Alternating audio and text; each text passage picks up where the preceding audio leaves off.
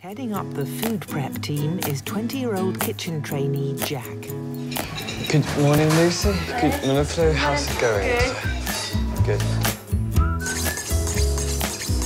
Right, another busy session, as usual. Because Jack is quite quick, we'll get it done even quicker.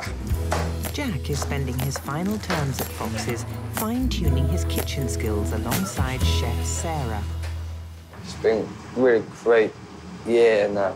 It's been a brilliant year, so when you leave, great, you'll miss this place, but it's about you concentrating on your way forward in life. My passion is work. Yeah. So my dad always says, um, he likes to say, Jack goes to workaholic.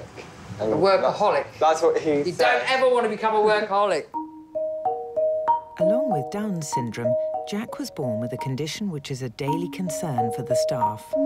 Manager, Yeah, I can run this up. sure? Yeah. Crack on then. When he gets anxious, he has panic attacks, which can trigger an anaphylactic shock. His throat swells and he can stop breathing. It's a big worry for Mum Ronnie. He's had them since the age of two, which is a long, long time, and we, we thought it would go away.